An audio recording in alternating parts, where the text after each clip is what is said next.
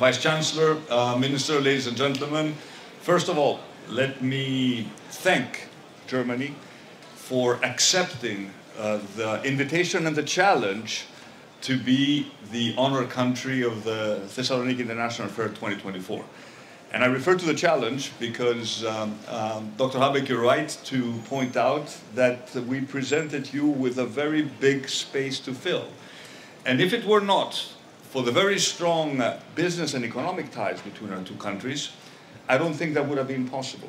But the fact that we have 130 companies present here, open to the public to explain their own stories and the strong economic ties that we have between Greece and Germany is exactly testimony to the fact that we have built a very strong economic bilateral partnership. And um, you are right to point out that you know, our historic relationships have gone through ebbs and flows. And it is also true that as Greece was going through its own uh, financial crisis, the views of uh, Germany were sometimes um, uh, distorted by the pain that the Greek citizens felt.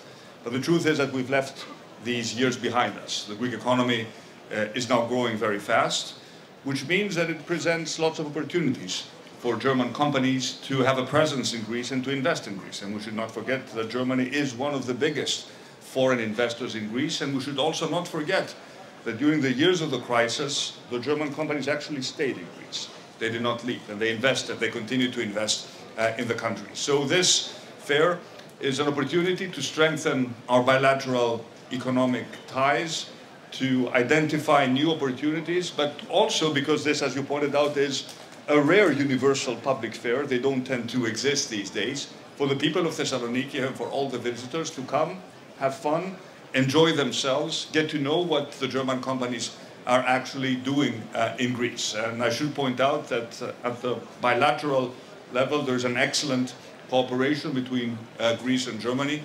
Uh, we're faced with uh, tremendous challenges. Uh, the Vice Chancellor, for those of you who don't know it, is particularly sensitive when it comes to issues of the green transition uh, and, um, and climate change. We have been directly affected by the climate crisis, as most Mediterranean countries have. And as we move into the next uh, European uh, cycle, there's going to be a lot of interesting discussions that we have uh, in terms of how we actually make the green transition a reality without compromising on, on our targets while at the same time maintaining the competitiveness and national security of our industries while supporting the people who actually suffer from the climate crisis today. Not an easy equation to solve, uh, but we know we have good and qualified partners uh, when we engage in this debate. So, uh, again, um, uh, dear um, uh, Robert, Minister, thank you so much uh, for being um, here. It means a lot to us to have Germany as a country of, of honor, and I'm sure that for all of those, because this is actually a fair that receives lots and lots of visitors who visit the, the German pavilion. I'm sure they'll also you know, have a very, very good time, and I'm eager to present the pavilion to the visitors of TIFF. So thank you again very much for being here.